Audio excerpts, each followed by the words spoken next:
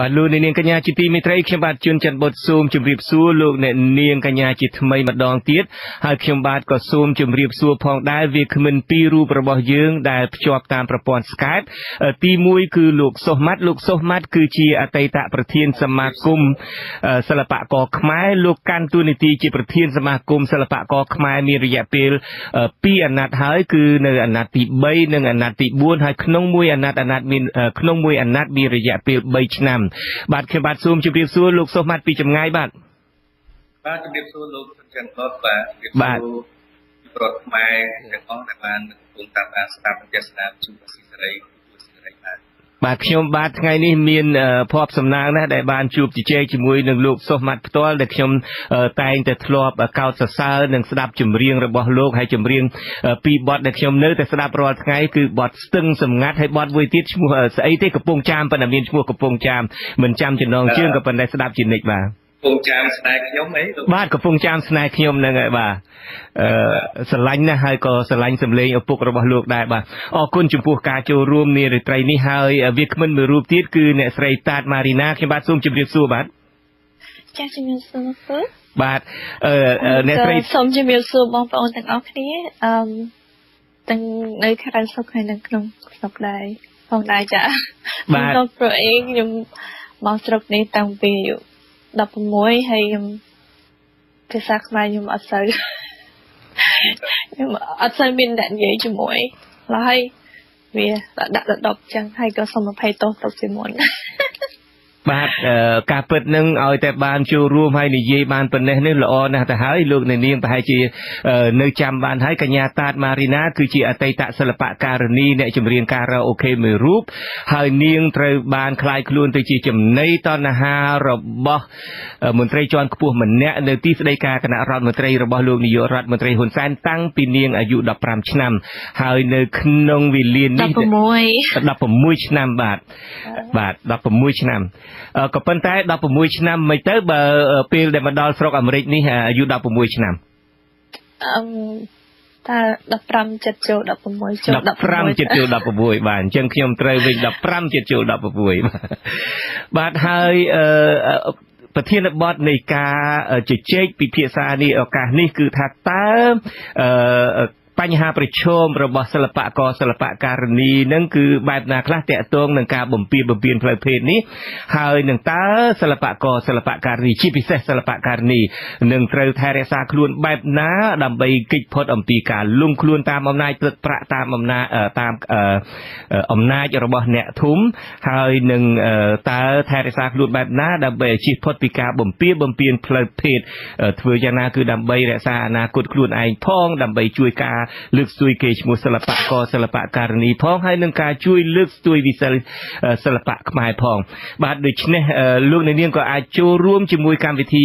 យើងនេះពេលនេះដែរលោកអ្នកនាងអាចចូលមកដើម្បីសាកសួរផ្ទាល់ក៏បាន អាចបញ្ចេញមតិយោបល់ខ្លះក៏បាន ហើយដើម្បីចូលរួមក្នុងកម្មវិធីយើងបានលោកអ្នកនាងអាចបញ្ជូនទូរស័ព្ទ របស់លោកអ្នកនាងពីប្រទេសណាក៏ដោយនៅខ្ទង់ comment របស់ការផ្សាយនៃការផ្សាយផ្ទាល់របស់យើងនេះក្រុមបច្ចេកទេសរបស់យើងនឹងហៅទៅលោកអ្នកនាងវិញដើម្បីមកចូលរួម បញ្ចេញទស្សនៈឬក៏សាកសួរក៏ប៉ុន្តែនេះឱកាសនេះដើម្បីកុំឲ្យខាតពេលយូរខ្ញុំបាទសូមស្នើដល់លោកសុសម៉ាចសូមលោករៀបរាប់បន្តិចមើលថាតើអវបធរដឹកញីប្រស៊ីឈ្មោលនៅក្នុងចំណោមសិល្បករនឹងកើតមាននឹងរបៀបណាដែរទំហំប៉ុណ្ណាដែរទម្រង់បែបណាដែរបាទសូមជើញ អឺរឿងនឹងវាកើតមកយូរមកហើយរឿងវប្បធម៌ដឹកញីស៊ីឈ្មោះវាមានវេខ្យល់ទេតែតែម៉ែយ៉ែវាមិនថាប្រទេសយើងប្រទេសដទៃក៏មានចឹងដែរវាអាចអ្នកសិល្បៈទៀតសោសិល្បៈក្នុងសិល្បៈការទៀតសោគាត់គិតពីតម្លៃរបស់គាត់គាត់គិតថាគាត់ជាអ្នកបរិសុទ្ធក្នុងសិល្បៈមានន័យថាគាត់មិនយកសិល្បៈគាត់ជាឈ្នន់មិនយកសិល្បៈដើម្បីជាលិខការៈរបស់គាត់ពីនេះគាត់រក្សានៅសេចក្តីថ្លៃរបស់គាត់គាត់អាចជិះផុតពីបញ្ហាអ្វីៗ ទាំងអស់បាទហើយខ្ញុំចង់ឆ្ងល់ប្រពន្ធនេះខ្ញុំតាមពិតហ្នឹងជាអ្នកលោកក៏បានជ្រាបហើយប្រហែលថ្ងៃហ្នឹងក៏មានរឿងតាក់ទងដល់ខ្ញុំផ្ទាល់ដែរនៅពេលដែលយើងមានឈ្មោះគេស្គាល់ទៅគឺថាមានការ លបួងលួងលួមានការបញ្ចុះបញ្ចូលដោយផ្ដាល់អំណាចដោយផ្ដាល់ទឹកប្រាក់នឹងច្រើនណាស់ហើយកន្លងមកនេះខ្ញុំតាមពិតនេះខ្ញុំរក្សាខ្លួនបាន20ឆ្នាំហើយតាមពិតខ្លួនឯងនឹង20ឆ្នាំហើយដើម្បីគេចផុតអំពីការដែលអត្តពលនៃទឹកប្រាក់អត្តពលនៃអំណាចគេមិនចង់យកខ្លួនខ្ញុំទៅធ្វើអីទេការពិតនោះគាត់ថាចង់យកទៅដើម្បីបំរើនៅខាងគណៈបកនេះគណៈបកនោះហើយខ្ញុំតែងតែគិតរួចតែរហូតមកចុះចំពោះសិល្បករសិល្បករនីវិញដែលរូបរាងស្អាតបាតរាងរើអីនោះក៏សម្បើមណាស់ហើយក្រៅទៅពីនឹងទៀតដាក់តួនាទីជាសិល្បករសិល្បករនីត្រូវតែតែងខ្លួនឲ្យស្អាតតែងខ្លួនឲ្យខ្ញង់ញញឹមជានិច្ចដើម្បីធ្វើឲ្យគេស្រឡាញ់គេចូលចិត្តជានិច្ចតើពួកគាត់ធ្វើយ៉ាងណាដើម្បីគេចផុតអំពីអត្តពលប្រាក់អត្តពលអ្នកមានអំណាចនេះបាទដូចខ្ញុំនិយាយចឹងគាត់ត្រូវចេះរក្សារិទ្ធិផ្នែកក្នុងរបស់គាត់ ពិតមែនតែគាត់វាជាកុហាមួយកងដែលកន្លងមកពុំតែសម្លឹងចោចចោលចង់ព្រេមគឺផ្លឹងព្រេមអស់គាត់ប៉ុន្តែថាទៅលើពុទ្ធគាត់គាត់គាត់គោទុនគាត់ស្រឡាញ់គាត់ឃើញវាថាសម្ភារៈយមបិទកៈរបស់គាត់ឃើញឃើញគេអមិនដំបូងគឺជាសុខសពដូចគ្នាទេតែឥឡូវអាចក៏មានវិឡាមានឡានឯលឿនម្លេះតែនិយាយនិយាយពីចម្លៃគូនៃការថត របស់សិល្បករសិល្បករនេះវាមិនអាចស្តំនឹងគាត់អាចឈៀបឈុំចាប់បាននៅសម្ភារៈនិយមយ៉ាងយ៉ាងឆាប់រហ័សបែបនេះទេអញ្ចឹងគាត់ឃើញក៏មានមេខ្យល់គាត់នេះអឺតែគាត់ភាសានេះភាសានេះទៅតោនេះតោនេះអញ្ចឹងគាត់ក៏និយាយពីគឺថាមេខ្យល់មកទឹកងំទឹកជីស៊ីឈ្មោះនិយាយលុបលុបគាត់គាត់ក៏បន្តធ្វើទៅតាមនឹងដើម្បីបដូរយកនៅគឺថាទីមួយគឺដោយសារស្ថានភាពជីវិត ក្រុមគ្រួសាររបស់គាត់ផងហើយដើម្បីក្នុងនាមធម្មស្រីជាតារាឃើញហេតុអីគេមានជាងយើងគេឆាប់មានឡានមានវិឡាឯងនៅតែប៉ុណ្្នឹងអញ្ចឹងឃើញគេអញ្ចឹងក៏អាចខ្លះក៏គាត់ភ្លេចគិតមួយមួយរយៈគាត់ក៏បណ្ដោយខ្លួនទៅតាមហ្នឹងទៅដើម្បីបដូរយកទៅដូចខ្ញុំនិយាយលៀបសការៈបាទមកវិញបាទ ដូច្នេះសំខាន់បំផុតនឹងគឺការចិត្តលោភលន់នៅក្នុងវប្បធម៌មួយដែលឃើញគ្នាឯងនឹងគេមានគេបានគេមានវីឡាអឺមានឡានថ្មី មានសម្លៀកបំពាក់ថ្មីមានគ្រឿងអឺសំអាងមានគ្រឿងអលង្ការអីពេញខ្លួនអីចឹងទៅគឺតាមគ្នាទៅបាទវាអាចទៅតាមតាមគឺវាស្ដែងជារឿងអញ្ចឹងទៅតាមគ្នាបាទបាទ បាទឥឡូវនេះខ្ញុំចង់ងាកមកអ្នកស្រីតាតម៉ារីណាបន្តិចវិញអ្នកស្រីខ្ញុំបានអានសាច់រឿងអ្នកស្រីតាមពិតនឹងខ្ញុំក៏បានជួបអ្នកស្រីតាំងពីអ្នកស្រីមកព្យាបាលដំបងមកដល់ទឹកដីអាមេរិកនេះខ្ញុំក៏បានក៏បានធ្វើសេចក្តីរាយការណ៍ពីអ្នកស្រីដែរបានដឹងពីប្រវត្តិខ្លះដែលខ្ញុំហ៊ាននិយាយថាអ្នកស្រីនឹងបានធ្លាក់ខ្លួនទៅជាចំណីតណ្ហារបស់មន្ត្រីម្នាក់នៅទីស្តីការគណៈរដ្ឋមន្ត្រីនេះគឺតាំងពីអាយុ15ឆ្នាំជិតចូល16ឆ្នាំម្លេះអឺភ្លាមនឹងគឺគាត់បានពោអ្នកស្រីថាគាត់នឹងឯងជាជនខ្មែររស់នៅបរទេសទេណាហើយគ្មានប្រពន្ធកូនទេតើថ្ងៃមួយគាត់ត្រឡប់មកពីប្រទេសសិង្ហបុរីទេប្រទេសសង្ហបុរីទេដែលអ្នកស្រីបានឃើញប៉ាសពតគាត់ថាប៉ាសពតខ្មែរហើយមានកូននៅក្នុងអឺរូបថតកូននៅក្នុងប៉ាសពតនឹងផងអ្នកស្រីក៏ ព្យាយាមសុំបែកបាក់ទៅទីបំផុតទៅក៏លោកស្វ័យស៊ីថាដែលជាមន្ត្រីនៅទីស្តីការគណៈរដ្ឋមន្ត្រីហ្នឹងចាប់អ្នកស្រីយកទៅចាក់សោដាក់គុកនៅខេត្តបាត់ដំបងអីជាដើមប្រើពាក្យគុកក៏ដូចមិនសូវសមដែរទៅដាក់នៅក្នុងធនីសន្តាគារមួយមិនចឹងទេឬមួយផ្ទះសំណាក់មួយនៅបាត់ដំបងអានេះដែលខ្ញុំបានអានសេចរឿងពីដើមមកខ្ញុំចង់សួរថាតើការដែលធ្លាក់ខ្លួនទៅក្នុងកណ្ដាប់ដៃរបស់លោកស្វ័យស៊ីថានឹងដំបងឡើយយ៉ាងម៉េចដែរជាការអូសទាញមានម៉ែយ៉ែមានអ្នកដឹកញីបស៊ីឈ្មោះនឹងដែរឬមួយកើតឡើងយ៉ាងណាហើយដែលព្រមជាមួយគាត់នឹងតាំងពីអាយុជិត16ឆ្នាំ15ឆ្នាំឈានចូល16ឆ្នាំនឹងធ្លាក់ចូលទៅក្នុងចំណីតណ្ហាគាត់កដាប់ដៃគាត់នឹងបែបណាដែរទឹកប្រាក់អំណាចខ្លាចគេអឺបើនិយាយទៅអឺវាវាវិញជាងព្រោះអឺខ្ញុំទៅអឺទៅថតអឺ ផ្សាយពាណិជ្ជកម្មឲ្យគេហើយពេលល្ងាចហ្នឹងមកវិញហ្នឹងថាខ្ញុំថាទៅរត់ទិញអីញ៉ាំអញ្ចឹងទៅពុកម៉ាក់ឲ្យគេដែលខ្ញុំជួលផ្ទះនៅជាមួយហ្នឹងអឺថាហើយមិនអឺទិញចំណីអីពេលល្ងាចចឹងសំលុយទុកហើយព្រោះអីមានកន្លែងគេជប់ភ្លៀងហ្នឹងយើងក៏ទៅយើងចូលទៅយើងញ៉ាំអាហារទៅមិនចាំបាច់ចំណាយលុយច្រើនហ្នឹងខ្ញុំគិតថាណាមួយខ្លួនឯងពងអមសំលុយអីចឹងណាបាទហើយក៏ថាចឹង ទៅក៏ទៅទៅវាមិនអស់បានបើសិនជាគេទាលុយខ្ញុំក៏ខ្ញុំសងគេវិញដែរខ្ញុំគិតអញ្ចឹងណាបាទហើយក៏ទៅទៅក៏ជប់គេបន្តុកទៅមហូបគេឡើងច្រើនពេញទៅចឹងខ្ញុំទៅជប់ដាក់ឃើញអ្នកធំហងដាក់មានផងអ្នកតូចផងខ្ញុំដឹងខ្ញុំក៏បានចូលទៅខ្ញុំចង់ញ៉ាំមហូបតែប៉ុណ្្នឹងឯងហើយទៅក៏ជួបជុំគ្នាដូចគេមានវិធីជប់លៀងអីមិនដឹងហើយទៅខ្ញុំក៏ទៅ ចាប់មហូបដាក់ចានញ៉ាំទៅខ្ញុំអង្គុយញ៉ាំផងព្រោះអីគេស្រឡឹងខ្ញុំគ្រប់គ្នាខ្ញុំអង្គុយអៀនខ្ញុំញ៉ាំផងខ្ញុំអៀនផងខ្ញុំក្លែកមើលគេគេចេះតែស្រឡឹងខ្ញុំពេកខ្ញុំមើលគេមើលខ្លួនឯងនិយាយពាក់កៅអីខុសដឹងអីលហើយកៅលហើយកៅដឹងខុសមើលខ្លួនឯង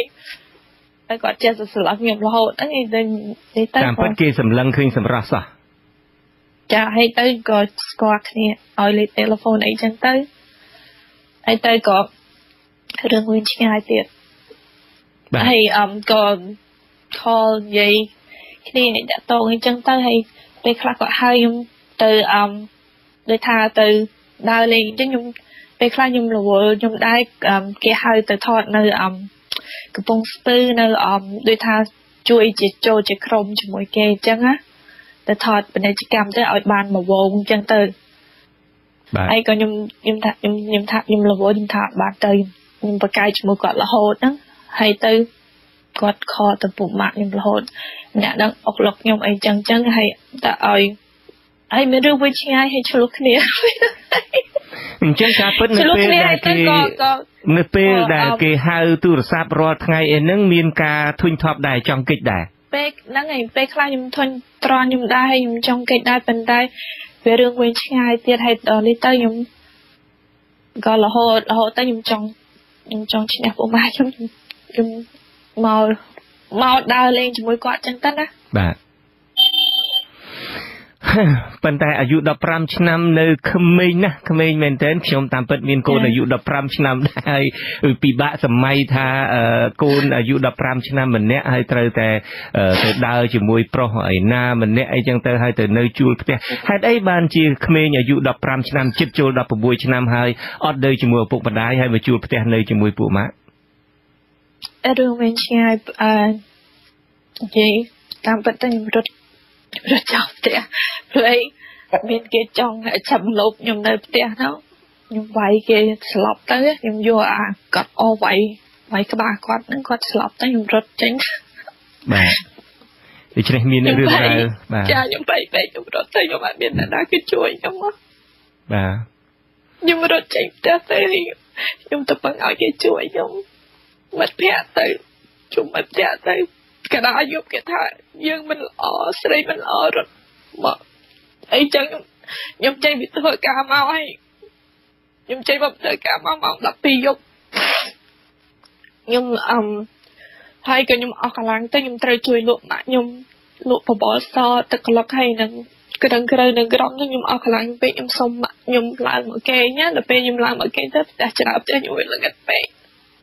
វាល្ងិតពេកទៅ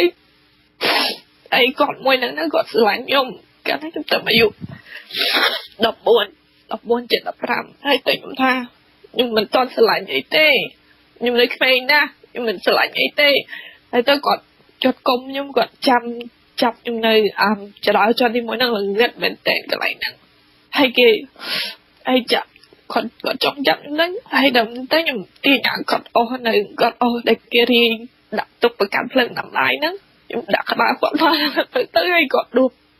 ដួសពាក្យនៅហ្នឹងទៅខ្ញុំខ្ញុំខ្ញុំថាខ្ញុំវាយគេស្លាប់ទៅហើយទៅខ្ញុំរត់ខ្ញុំរត់ទៅណាស់ខ្ញុំមិនប្រាប់ម៉ាក់ខ្ញុំក៏ប៉ាខ្ញុំក៏បានប្រាប់គាត់ដែរហើយខ្ញុំរត់ទៅទៅហើយបបាក់វេទនាអត់មានអ្នកណាជួយខ្ញុំហើយខ្ញុំខ្ញុំភ័យខ្ញុំថាខ្ញុំគិតថាខ្ញុំ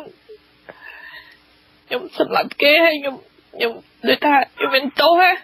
បាទខ្ញុំអត់ចង់ជាប់គុកក៏ខ្ញុំក៏រត់ចេញពីផ្ទះទៅហើយទៅជួបមិត្តភ័ក្តិអីចឹងទៅហើយបងពាក់ឲ្យគេជួយចឹងហើយដល់នេះគេជួយថាទៅចូលថតចូលអីចឹងទៅចូលថតជាមួយគេលេទៅកលុំនេះហើយខ្ញុំក៏មិនបានគិតពេលជាថាតថតទៅគេឃើញហើយប្រៃខ្លួនឯងរត់រត់ចេញអាហ្នឹងខ្ញុំនៅក្មេងពេកហ៎ហើយ ខ្ញុំវាតខ្លាំងពេកខ្ញុំមិនដឹងថាឲ្យអ្នកណាជួយខ្ញុំបាទអរគុណហើយដែលបានរៀបរាប់រឿងរ៉ាវអតីតកាលខ្លះឥឡូវនេះខ្ញុំសូមអញ្ជើញលោកអ្នកហៅម្នាក់យើងបានភ្ជាប់លោករាវីពីខេត្តកញ្ចេះសូមអញ្ជើញបាទបាទបាទខ្ញុំជួប បាទប្រព័ន្ធសេវារវាងលោករ៉ាវីហើយនឹងយើងមិនបានល្អសោះដូច្នេះយើងនឹងព្យាយាមហៅម្ដងទៀតបាទលោករ៉ាវីសុំទោសឥឡូវនេះខ្ញុំចង់ងាកមកលោកសុសម៉ាចវិញម្ដងអឺ បើតាមយើងស្ដាប់សាច់រឿងរបស់អ្នកស្រីតាតម៉ារីណា គឺថាមកពីនាងនៅក្មេងពេកនាងមានបញ្ហាការបំពៀបំពៀននឹងពីផ្ទះមកហើយងាកមកនៅជាមួយនឹងស្តៀងនឹងលោកសុសម៉ាចបានរៀបរាប់ដែរថាមកនៅជាមួយហើយក៏មិត្តភ័ក្តិបបួលទៅហើយក៏ ក្រៅទៅពីនឹងទេអ្នកមានអំណាចឃើញរូបរាងក្មេងស្រីស្អាតទៅក៏បបួលទៅក៏ទូរស័ព្ទទៅក៏ហៅទៅបញ្ចុកបស៊ីអីទៅជាដើមក្នុងនាមលោកដែលជាធ្លាប់ធ្វើជាអតីតប្រធានសិល្បកររហូតដល់6ឆ្នាំដល់ទៅ2អាណត្តិហើយជាសិល្បករជើងចាស់ផងនោះតើលោកមានការផ្ដល់នៅអឺ អឺប្រឹក្សាបែបណាដែរទេនៅពេលដែលក្នុងលោកធ្វើជាអតីតធ្វើជាប្រធានសមាគមសិល្បៈហ្នឹងដើម្បីជួយពង្រឹងស្មារតីជួយណែនាំដល់សិល្បករបាទក្នុងតាមតែខ្ញុំខ្ញុំធ្វើជាប្រធានសមាគមសិល្បៈខ្ញុំតែងតែណែនាំសមាជិកនៅក្រមអបាលរបស់យើងនឹងគឺគឺយ៉ាងណាថែរក្សានៅសេចក្តីតែខ្លួនជានារីខ្មែរជាប្រអប់ខ្មែរជាពលខ្មែរ គោលការណ៍របស់យើងគឺក្នុងយើងសិល្បៈគុណនីតិរបស់យើងត្រូវធ្វើមិនខ្លះគឺផ្សព្វផ្សាយថែរក្សានៅអ្វីដែលជាតម្លៃរបស់សិល្បៈរបស់ជាតិរបស់យើងទៅឲ្យពិសេសទៅទៅជ្រាបទៅអ្វីដើម្បីឲ្យគេស្គាល់ទៅអ្វីទៅដែលហៅសិល្បៈហើយខ្ញុំក៏តែងតែណែនាំគេថាធ្វើជាអ្នកសិល្បៈត្រូវឲ្យមានភាពស្អាតស្អំខ្ញុំយកសិល្បៈធ្វើជាឈ្មោះនិយាយរួមទៅសិល្បៈដែលនៅក្នុងដែលជាសមាជិក តាមសិល្បៈក្នុងអាណាចក្ររបស់ខ្ញុំគឺគេទៅអត់តែតែជិះផុតពីបញ្ហាផ្នែកការគឺអ្នកដែលធ្លាប់តែមានបញ្ហាការធ្វើឡើងគឺស្ថិតទៅក្រៅរង្វង់សមាគមសិល្បៈខ្ញុំនិយាយដោយត្រង់ដោយត្រង់តែម្ដងដូច្នេះហើយបាទបាទគឺអ្នកដែលស្ថិតនៅក្រៅរង្វង់សមាគមសិល្បៈពេលដែលគាត់មានបញ្ហាហើយបានសមាគមសិល្បៈទៅជួយអូខេគាត់តែនាំគាត់ជួយគាត់មកវិញបាទគាត់ក៏កែប្រែលោកលោកសុមាច់លោកសុមាច់លោកអាចដាក់ក្បាលមីក្រូហ្វូននៅជិតមាត់លោកបន្តិចបានទេបាទ បាទច្បាស់ជាងមុនបាទសូមជឿខ្ញុំចង់បានជម្រាបថារាល់បញ្ហាដែលកើតមានទៅលើសិល្បៈករឬសិល្បៈកម្មនេះច្រើនតែសិល្បៈករឬសិល្បៈកម្មនេះមិនមែនបន្ថិតនៅក្នុងជាសមាជិកពេញសិទ្ធិរបស់សមាគមសិល្បៈក្នុងអាណត្តិទី3និងទី4របស់ខ្ញុំព្រោះថារាល់សមាជិកទាំងអស់ខ្ញុំតែងតែណែនាំពួកគេគឺតែការផ្ដល់ឱវាទឲ្យពួកគេធ្វើយ៉ាងណារក្សានៅសេចក្តីថ្លៃថ្នូរ ឲ្យសមជារូបរបស់មហាជនបាទរូបសាធារណៈទូរទស្សន៍របស់យើងត្រូវធ្វើមិនខ្លះថែរក្សាបបបប្រពៃណីសិល្បៈជាតិការពារថែរក្សាអភិរក្សនិងលើកស្ទួយវិស័យសិល្បៈជាតិនិងការជួយគ្នាទៅវិញទៅមកនិងការជួយរួមចំណែកជាមួយនឹងកិច្ចការងារល្អល្អជាមួយសង្គមជាតិរបស់ខ្លួនជីវិតពីរឿងអបាយផ្សេងផ្សេងរឿងមានរឿងអីហ្នឹងក្នុងការយកសិល្បៈសម្រាប់ពីឈ្មោះគឺយើងបានណែនាំពួកគាត់ អញ្ចឹងហើយពួកគាត់នៅស្ថិតក្នុងជាជាសមាជិកពេជ្ររបស់សមាគមសិល្បៈនោះគឺកម្រនិយាយតាមត្រង់ក្នុងអាណត្តិរបស់គាត់គឺអត់មានអ្នកណាមួយដែលស្ថិតតែមានបញ្ហាទេគឺអ្នកដែលមានបញ្ហាគឺនៅក្រៅរង្វង់សមាជិកពេជ្ររបស់សមាគមសិល្បៈប៉ុន្តែក្នុងយើងក្នុងជាសមាគមសិល្បៈគឺយើងមិនអាចធ្វើឲ្យសិល្បៈពលសិល្បៈកម្មនេះដល់ឯកោនៅពីគាត់មានបញ្ហាគឺខ្ញុំតែងតែជួយពួកគាត់តម្រែតម្រង់គឺបច្ចេកទេសពួកគាត់ឲ្យគាត់ងាកមកធ្វើអ្វីដែលជាល្អអញ្ចឹងហើយ គឺគាត់ជាគាត់ប៉ុន្តែបញ្ហាដែលកើតមានក្រោយក្រោយមកនេះជាមួយនឹងសិល្បករជាចេះសិក្សាច្រើនទៅរឿងទៅរឿងសិល្បៈកម្មនេះគឺវាពិបាកជាអ្នកដែលស្ថិតនៅក្រៅរង្វង់របស់សមាជិកសមាគមសិល្បៈបាទបាទបាទអរគុណលោកលោកសុសម៉ាចបាទខ្ញុំប្រមាណ សប្តាហ៍មុននៅពេលដែលមានរឿងបែកធ្លាយថាកូនលោកនាយករដ្ឋមន្ត្រីហ៊ុនសែនគឺលោកហ៊ុនម៉ាណីនឹងគឺថាមានម៉ែយ៉ែមមានឪយ៉ែមនៅតាមជួយដឹកញីបស៊ីឈ្មោលអីហ្នឹងគឺហើយយើងបានឃើញថាមានអ្នកខ្លះទៀតនោះនៅពេលដែលលងស្នេហ៍ទៅហើយមានផ្ទៃពោះទៅហើយទីបំផុតទៅនឹងក៏ឈឺចាប់ណាស់គឺថាចង់សម្លាប់ខ្លួនហើយបានថតរូបនឹងអាដៃផងសម្រក់ឈាមផងហើយសុំជួបលោកហ៊ុនម៉ាណីវិញហើយក៏មិនដែលបានសោះតាក់ទូរហ្វូនតាក់ទង message ចុះឡើងយ៉ាងណាក៏មិនដែលបានជួបសោះហើយទីបំផុតទៅក៏ចង់សម្លាប់ខ្លួនអីជាដើម តើអ្នកស្រីតាតម៉ារីណាវិញនៅពេលដែលមានរឿងរ៉ាវកើតឡើងដល់អ្នកស្រីរហូតដល់គេស្រោចទឹកអាស៊ីត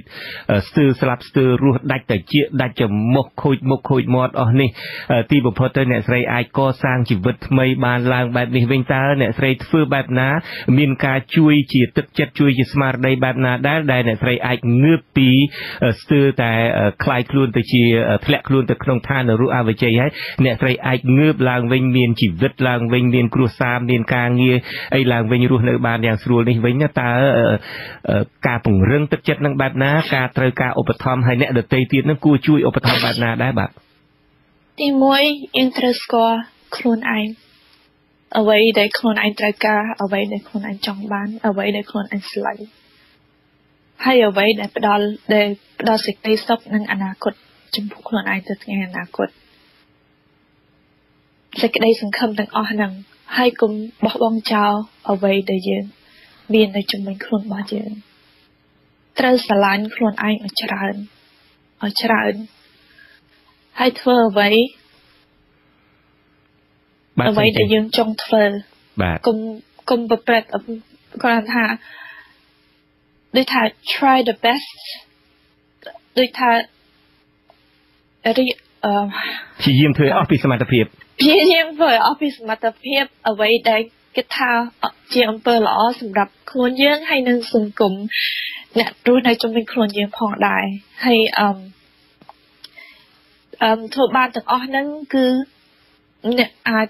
ដូចថាជំនះអ្វីអ្វីនៅជុំវិញខ្លួនអ្នកបានរហូតដល់អឺ បាទមានដល់ថ្ងៃនេះបាទដូច្នេះខ្ញុំសង្ខេបឡើងវិញគឺមិនត្រូវបោះបង់ចោលសេចក្តីសង្ឃឹមទេត្រូវមានសេចក្តីសង្ឃឹមទាំងអស់ហើយបើមួយទៀតហ្នឹងគឺភាសាអង់គ្លេសរបស់អ្នកស្រីបាទទោះជាមានរឿងអ្វីក៏ដោយនៅជុំវិញខ្លួនយើងរឿងស្នេហាដូចថារឿងស្នេហាប្រេះឆាឬមួយក៏បែកប្រេះស្ទំបេះដូងមិនក៏ដោយក៏គិតថាយើងឆ្លាញ់ខ្លួនយើងឲ្យច្រើនជាជាងរឿងដែលនៅខាងក្រៅខ្លួនយើង បាទគិតចំពោះខ្លួនយើង ទី1គឺគិតរឿងខ្លួនយើងមុនគេ បាទធ្វើអ្វីវាក៏ដោយគឺសម្រាប់ខ្លួនយើងមុនគេកុំគិតអ្វីនៅខាងក្រៅខ្លួនដែលថាយើងមិនហើយធ្វើអ្វីដែលអាចធ្វើបានកុំកុំគិតដល់ដូចថាយើងធ្វើជំហានទី1កុំគិតដល់កុំគិតចង់ធ្វើជំហានទី2យើងធ្វើត្រូវធ្វើធ្វើទៅជំហានទី1មុននោះអឺយើងនឹងទទួលបានជោគជ័យនៅក្នុងជីវិតខ្ញុំជឿជាក់ថាអញ្ចឹងបាទ បាទឆ្លៀតឱកាសនេះខ្ញុំបាទក៏សូមជម្រាបលោកអ្នកស្ដាប់អ្នកតាមដានការផ្សាយរបស់យើងនេះឱកាសនេះដែរតាំងពីមានរឿងបែកធ្លាយសារសម្ងាត់ដែលគេអះអាងថាជាសារសម្ងាត់រវាងលោកហ៊ុនម៉ាណីកូនប្រុសលោកហ៊ុនសែនជាមួយនឹងសិល្បករសិល្បករនីទាំងអស់នឹងមកហ្នឹងយើងបានព្យាយាមតាក់ទងលោកហ៊ុនម៉ាណីដែរដើម្បីឲ្យលោកបកស្រាយព្យាយាមតាក់ទងលោកម៉ែម៉ែយ៉ែមឬឪយ៉ែមអីជាដើមចុះដើម្បីបកស្រាយក៏ប៉ុន្តែអត់មានអ្នកណាបកស្រាយទេហើយក៏មិនមានអ្នកណាអះអាងថានេះជាសារពិតដែរឥឡូវនេះខ្ញុំមានខ្សែទូរស័ព្ទមួយដែលយើងទើបនឹងភ្ជាប់បានគឺលោក Steven ពីរដ្ឋ California សហរដ្ឋអាមេរិកសូមអញ្ជើញ Steven បាទបាទជំរាបសួរបាទសូមអរគុណបាទបាទជំរាបសួរនឹងខ្ញុំបាទសូមអរគុណវាគ្មិនទាំងពីរផងបាទជំរាបសួរបាទទី1ដែលខ្ញុំបាទលើកទី1ដែលខ្ញុំបានចូលមកជួបលោកចៅលោកទុនច័ន្ទបុតបាទបាទបាទទី1គឺខ្ញុំចង់សួរថា តើសង្គមរាល់ថ្ងៃនឹងមានគិតអំពីអឺការសេរីភាពឬក៏កិត្តិយសរបស់មនុស្សស្រីដែរបាទខ្ញុំគាត់ទៅសួរលោកលោកមានខមមិនខាងផ្សំម៉ាចបាទបាទពីព្រោះខ្ញុំលើច្រើនណាស់ពីព្រោះខ្ញុំលើច្រើនត្រង់ថាស្រីស្រីរងគ្រោះដោយសារបរោះច្រើនណាស់អំពើកេតកម្មអំពើចាប់រំលោភអំពើសពសារពើទាំងអស់ តើខាងលោកសមាជយើងអាចមានវិធានការឬក៏អាចមានយោបល់យ៉ាងណាសូមទៅ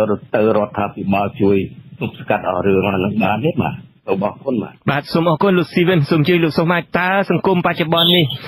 មានបានគិតអំពីសេរីភាពអំពីកិត្តិយសរបស់មនុស្សស្រីដែរឬទេបាទពេលរដ្ឋាភិបាលសម្រាប់គិតពីលើកកម្ពស់ gender នៃខាងស្រីមានសិទ្ធិគ្រប់បែបយ៉ាងរបស់លោកក៏ដែរសិទ្ធិ ចូលរួមរបស់សិទ្ធិការផ្សេងៗសិទ្ធិការគឺមាន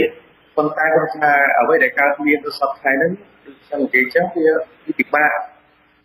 ថាឥឡូវយើងនិយាយថាពីស្ត្រីឥឡូវយើងលើកពីសិល្បៈការចុះតែគាត់ស្បជួបបញ្ហាណាដូចការយីជីប៉ុនផងបាយសម្រាប់ជីវិតរបស់គាត់យើងត្រូវគិតមកតើវាមានហេតុវាមានតែមានផលវាមានហេតុ ហេតុមកស្រីបានចេញផងមកទួនគាត់គាត់ខ្លួនគាត់ទៅគាត់ខ្លួនกันដូចខ្ញុំនិយាយចឹងការថែរក្សានៅសេចក្តីថ្លៃថ្នូររបស់ខ្លួនកុំភាពលោភលន់អាការដែលគឺការភាពលោភលោភលន់នឹងហើយដែលធ្វើឲ្យខ្លួនឯងធ្លាក់ទៅក្នុងរឿងអបាយមុខទៅទៅក្នុងភាពគ្រោះថ្នាក់ដូចខ្ញុំឧទាហរណ៍ថាស្ត្រីម្នាក់ឲ្យសិល្បកម្មវិញមនុស្សទាំងហើយថាបរោះហ្នឹង គេមានអំណាចគេមានលុយកាក់គេមានចរិយាបើគេស្រឡាញ់យើងណាគេចង់បានយើងយើងជៀសផុតបានទេយើងកុំទៅយើងកុំទៅកុំទៅក្បែរគេទៅតែអ្នកណានឹងបើយើងទៅក្បែរគេមានន័យថាយើងកំពុងតែដើរចូលភ្លើងហើយយើងកំពុងតែប៉ះភ្លើងហើយប្តីគេកំពុងគេកំពុងស្រឡាញ់អោតដើមគូនេះជាកម្មសិទ្ធិផ្ដាច់របស់គេតែតែយើងចូលទៅប្រជែងណាតែ យើងចូលទៅប្រជែងទៅធម្មតាគេក៏មានការខឹងសម្បាដែរប៉ុន្តែគាត់ថាវារឿងហ្នឹងវាកើតឡើងដោយគេថាបើទៅពួកមិនទៅនៅក៏មិនមកដែរប៉ុន្តែបើយើងបន្ទោសតែយើងដាក់កំហុសតែខាងស្រីតែកំហុសទៅតែបែបទៅតែមួយខាងគឺមិនកើតទេយើងខ្មែរគួរតែមានភាសាតែមួយគួរតែចេះតែជែកគ្នាដោះស្រាយគ្នាយកផ្លូវច្បាប់ដើម្បីដោះស្រាយ មិនត្រូវយកកំហឹងទល់កំហល់យកតែការចោទអធិភាពធ្វើអញ្ចឹងឲ្យបាត់បង់នៅសេចក្តីថ្លៃថ្នូរក្នុងភាពជាស្ត្រីដូចគ្នាតែខ្ញុំខ្ញុំការជាឧទាហរណ៍របស់ខ្ញុំចំពោះឧមាថាស្ត្រីម្នាក់ដែលគាត់តាក់ទងទៅនឹងកិរិយារបស់អឺដែលឆ្លាមអីរបស់គាត់អញ្ចឹងគាត់ខាងស្ត្រីគាត់រករឿងគាត់ខាងគាត់សម្បាគាត់ប្រកបជាបញ្ហាដូចតាក់ទងនៅរឿងរបស់អូនស្រីម៉ារីតាម៉ារីណាអញ្ចឹងធ្វើអញ្ចឹងមកគឺធ្វើឲ្យបាត់បង់តម្លៃស្ត្រី ខ្លួនគាត់ក៏បាត់បង់ហើយស្ត្រីក៏បាត់ព្រោះว่าស្រីស្ត្រីខ្លះគ្នាអត់បានដឹងពីសាវតារបស់បរោះនោះទេឬម៉ារីណាទេព្រោះគាត់អត់បានដឹងពីសាវតាណាអត់បានដឹងអីបាទគាត់ក៏បរោះនោះទេតែគ្នាគាត់ត្រូវធ្លាក់ក្នុងរឿងគាត់ធ្លាក់ក្នុងអឺផលកម្មនឹងដែរដោយដោយទៅកំបាត់ដឹងខ្លួនថាខ្លួនតាក់ទងស្រីគេបរោះទៀតទៀតសោតក៏ព្យាយាមទម្លាក់នៅអត្តសញ្ញាណខ្លួនឯង ដូច្នេះគុំទម្លាក់កំហុសទៅខាងស្រីខ្ញុំសូមជម្រាបទៅឧត្តមភរិយាទាំងឡាយសភាពនារីសភាពភរិយាទាំងឡាយថាគុំទទួលទៅខាងស្រីគឺទទួលខាងប្រុសដែលជាប្តីខ្លួនឯងផងបើទទួលមិនទៅនៅខ្លួនមកដែរណាអញ្ចឹងយើងជាខ្មែរដូចគ្នាគួរតែយកវិធីនៃការចរចាគ្នាដោះស្រាយគ្នាយកផ្លូវច្បាប់ទៅការដោះស្រាយជាងយើងនឹងការដោះស្រាយគ្នាក្រៅប្រព័ន្ធតុលាការក្រៅប្រព័ន្ធច្បាប់អញ្ចឹងគឺឲ្យ ណាគឺទេបាត់បង់អស់នៅអឺអឺភាពសេចក្តីថ្លៃថ្នូររបស់ស្ត្រីខ្មែរអានេះខ្ញុំនិយាយទៅរឿងពាក់ព័ន្ធនឹងសិល្បៈគោសិល្បៈការការនេះសូម្បីតែអ្នកដែលក្រៅរវងសិល្បៈក៏អញ្ចឹងដែរយើងគួរគិតគួរពិចារណាថាតើយើងត្រូវធ្វើឬយើងមិនត្រូវធ្វើបើគិតថាអានឹងវាមិនអាចផ្ដល់ផលប្រអឺវាវាផ្ដល់ផលអាក្រក់ដល់យើងគួរយើងជីកវាឲ្យឆ្ងាយទៅ មានតែរក្សាមួយយ៉ាងដើម្បីដើម្បីសេចក្តីសុខឲ្យសេចក្តីថ្លៃថ្នូររបស់ខ្លួនគឺរក្សានៅប្រពៃណីវប្បធម៌របស់ជាតិខ្មែររក្សានៅសេចក្តីថ្លៃថ្លៃថ្នូរក្នុងក្នុងភាពជាស្ត្រីខ្មែរអានេះយើងនឹងអាចជាផុតហើយគ្មានអ្នកណានឹងត្រូវមកជុំមកបាញ់យើងទៅសម្លុតយើងទេក្នុងសម័យនេះគឺមិនអាចទេនេះខ្ញុំនិយាយពីរឿងបញ្ហារយៈពាក់ព័ន្ធនឹងបញ្ហាស្នេហាព្រៃកោបាទ បាទអរគុណលោកសុមាចបាទបាទឥឡូវនេះខ្ញុំចង់ភ្ជាប់ខ្សែទូរស័ព្ទទៅលោកម្នាក់ទៀតហៅមកពីរដ្ឋ Massachusetts គឺលោកហេងឡុងបាទសូមជើញលោកហេងឡុងបាទហៅឡូបាទបាទសូមជឿបាទអរគុណសួរលោកជុនច័ន្ទបតហើយនឹងលោកសូម៉ាហើយនឹងអ្នកស្រីតាមកនេះណាខ្ញុំឈ្មោះដួងពេញឡុងអតីតអ្នកថតអត់ប្រចាំលទ្ធកម្មខ្លងដែនអឺ ខ្ញុំមករស់នៅសហរដ្ឋអាមេរិកនេះហើយខ្ញុំឆ្លងប្រឡូកនៅក្នុងសន្តិភាពយូរដែរហើយបាទហើយខ្ញុំឆ្លប់ដឹងដែរសម័យខ្ញុំនៅស្រុកខ្មែរហ្នឹងក៏មានការទិញស្នូឲ្យផ្លូវភេទចឹងតាំងនោះមកព្រោះធម្មតាអ្នកធំជាច្រើនខ្ញុំដឹងថាជាច្រើនអ្នកធំគឺប្រើអំណាចដើម្បីទាមទារទាយកចលបៈការនីអញ្ចឹងណាបាទអឺ តែខ្ញុំចង់សួរថាសប្តាហ៍ថ្ងៃនេះតើក្រសួងវប្បធម៌មានវិធានការយ៉ាងណាដែរចំពោះសិល្បៈការនីដែលធ្វើដែលគឺថាមានគេចាប់បខំអីចឹងទៅតើក្រសួងវប្បធម៌មានចេញវិធានការដើម្បីទប់ស្កាត់នៅការរំ លោភបំពានរបស់អ្នកធំជាតិច្រើនគឺអ្នកធំនិងអ្នកមានហ្នឹងបងខ្ញុំធ្លាប់ដឹងអញ្ចឹងតើលោកមានដឹងដែរទេថាក្រសួងវប្បធម៌មានវិធានការយ៉ាងណាដែរចំពោះលោកសូម៉ាលោកសូម៉ាធ្លាប់ស្គាល់បាទ សូមអរគុណច្រើនបាទសូមអរគុណដែលហេតុថាយើងមិនមានតំណាងក្រសួងវប្បធម៌មកទេប៉ុន្តែយ៉ាងហោចណាស់លោកសុសម៉ៃដែលធ្លាប់ធ្វើការជាប្រធានសមាគមសិល្បករខ្មែរនឹងដែលដឹងទេថាមានក្រសួងវប្បធម៌មានគោលការណ៍យ៉ាងណាទេនៅពេលដែលសិល្បករសិល្បករនីមានការរំលោភបំពានពីអ្នកមានអំណាចមកលើពួកគាត់នឹងប្រើអំណាចដើម្បីមកប្រខិតប្រខំចង់បានរាងកាយឲ្យជាដើមនឹងបាទ ក៏លើកគម្រាមវិធានការក្នុងការជួយការពារសិល្បៈផ្ទាល់សិល្បៈការនីដែរប៉ុន្តែគាត់ថាអ្វីដែលកើតពីឡើងហើយដូចខ្ញុំនិយាយចឹងខ្ញុំលើកទៅថតដូចសិល្បៈការនីដែលធ្លាប់មានបញ្ហារងគ្រោះរបស់បាត់បង់ជីវិតខាត់ធ្លាក់ពីការរស័ព្ទថ្ងៃដូចមានកញ្ញាទុសនិកធ្វើកញ្ញាព្រិចចឹងគឺធម្មតាច្បាប់ប្រទេសមានច្បាប់ គេក៏ចេះច្បាប់ក៏ជួយការពារដែរប៉ុន្តែគាត់ថារាប់ដូចខ្ញុំនិយាយអញ្ចឹងវាប៉ះពាល់ទៅមើមមើមពេកអញ្ចឹងក៏ពិបាកសូម្បីតែខ្ញុំក្នុងសមាគមសិល្បៈសិល្បៈកាលនេះដែលមានបញ្ហាគឺសមាគមសិល្បៈគឺយើងមានមេធាវីដើម្បីជួយការពារគាត់ក្រសួងក៏អញ្ចឹងដែរលោកក៏មានវិធានការក្នុងការជួយការពារដែរព្រមតែសិល្បៈកាលនេះវាស្ងោតគឺខ្ញុំនិយាយអញ្ចឹង គាត់រូបរាងស្អាតនឹងជាចំណីភ្នែកជាចំណីនៃការតាមប្រមាញ់របស់អ្នកមានអំណាចមានលុយហើយប៉ុន្តែខ្លួនគាត់គឺខ្លួនគាត់ត្រូវចេះរក្សានៅតម្លៃខ្លួនគាត់កុំសម្លឹងកុំរករកអាភាពលុបលុនណាចាឲ្យឆ្ងាយដល់ភាពលុបលុនត្រូវឲ្យមានបរិសុទ្ធសិល្បៈដែរថាចិត្តបរិសុទ្ធទាំងបរិសុទ្ធទាំងកាយបរិសុទ្ធទាំងចិត្តក្នុងសិល្បៈគឺគាត់ជាគាត់ទៅបញ្ហាទាំងអស់នេះ បាទបាទអរគុណលោកសុខម៉ាយដែលហេតុថាពេលវេលាខ្លីណាស់ទៅហើយខ្ញុំសូមអរគុណលោកសុខម៉ាយសុខម៉ាយតែប៉ុណ្ណេះក៏ប៉ុន្តែនៅនីតិចុងក្រោយសល់2នីតិចុងក្រោយនេះអ្នកស្រីតាតម៉ារីណាតើអ្នកស្រីអាចមានផ្ដល់ដំបូលមានបែបណាដែរទេដល់សិល្បករសិល្បករនីជាពិសេសក្មេងៗដែលកំពុងតែតារាកំពុងតែរះមួយចំនួនហើយដោយលោកសុខម៉ាយមានប្រសាសន៍យើងជួនកាលពិបាកទប់ទល់នឹង មិត្តភ័ក្តិរបស់ខ្លួននឹងគេមានឡានគេមានលុយគេមានអីជាដើមនឹងតើអាចជួយពន្យល់គាត់បែបណាដែរទេដើម្បីកុំឲ្យគាត់លងខ្លួនបាទខ្ញុំគ្រាន់តែនិយាយទៅថាអឺធ្វើយ៉ាងណាក៏ដោយយើងជាអ្នកសិល្បៈយើងត្រូវជួយលើកស្ទួយកិត្តិយសប្រទេសកម្ពុជាយើងដើម្បីឲ្យសិល្បៈយើងមានឈ្មោះល្អទៅថ្ងៃអនាគតកុំធ្វើអំពើអ្វីដែលថាឲ្យសិល្បៈយើងអាប់អោនហើយ ឲ្យប្រជាជនអ្នកដែលគេគ្រប់គ្រងយើងហ្នឹងគាត់អាចវាយតម្លៃអ្នកសិល្បៈគឺអញ្ចេះមួយចុះមួយអញ្ចឹងហើយអឺយើងត្រូវស្គាល់ពីតម្លៃរបស់ដែលមានតម្លៃរបស់ដែលមិនមានរបស់ដែលយើងយកមកមួយផ្លេតហ្នឹងវាគ្រាន់តែបានមួយមួយផ្លេតហ្នឹងហើយមិនថ្ងៃអនាគតនឹងស្អុយរលួយកុំឲ្យសោះកុំប្រព្រឹត្តកុំទទួលយករបស់របស់ហ្នឹងយើងត្រូវទទួលយកយករបស់ណាដែលថែរក្សា វិស័យសិល្បៈខ្មែរយើងបានគង់វង្សទៅថ្ងៃអនាគតកុំទទួលយករបស់ណាដែលយើងទទួលបាននឹងវាបានផលយើងមួយផ្លេតហ្នឹងគឺយើងមានបានផលមែនក៏ប៉ុន្តែថ្ងៃក្រោយវាមិនល្អសម្រាប់ចំពោះសិល្បៈយើងសិល្បៈខ្មែរយើងទៅថ្ងៃអនាគតកុំទទួលយកឲ្យសោះខ្ញុំគ្រាន់តែសូមផ្ដាំប៉ុណ្ណឹងឲ្យអមត្រូវជួយលើកស្ទួយ វិស័យសិល្បៈខ្មែរយើងទៅថ្ងៃអនាគតហើយអឺយើងជាអឺតារាអឺជាអឺអឺកូនចំនួនក្រោយជួយលើកស្ទួយអឺកិត្តិយសវិស័យសិល្បៈខ្មែរយើងទៅថ្ងៃអនាគត បាទ